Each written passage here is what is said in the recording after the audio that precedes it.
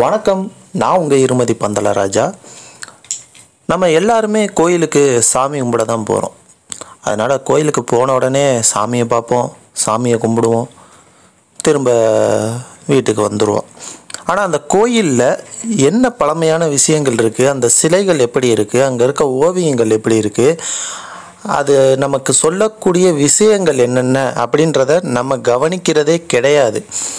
நம்ம போகிற வேலை என்ன? சாமி கும்பிட்றோம் திரும்ப வரோம் அப்படின்ற இதுக்கு வந்துக்கிட்டு இருக்கோம். ஆனால் உண்மையிலேயே நம்முடைய முன்னோர்கள் அந்த காலத்திலேயே கோயில்களில் சிலைகள் வாயிலாகவும் ஓவியங்கள் வாயிலாகவும் நம்மளுக்கு நிறைய விஷயங்களை சொல்லிக்கிட்டு தான் இருக்காங்க. நம்ம தான் அதை கவனிக்கிறது இல்லை.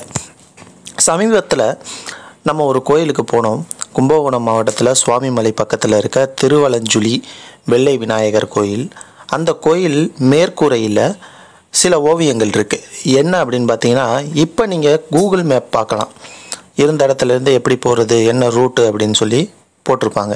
ஆனால் ஆயிரம் வருடங்களுக்கு முன்னாடியே அந்த கூகுள் மேப்பை மேற்கூரையில் வரைஞ்சி வச்சுருக்காங்க. அதாவது திருவலஞ்சுழி காவேரி நதிக்கரையிலிருந்து எப்படி வருது அந்த அந்த நதிக்கு இரண்டு பக்கமும் எத்தனை சிவாலயங்கள் இருக்குது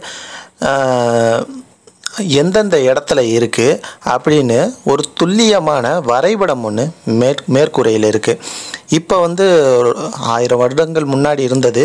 இப்போ பார்க்குறீங்களா இந்த வரைபடம் தான்.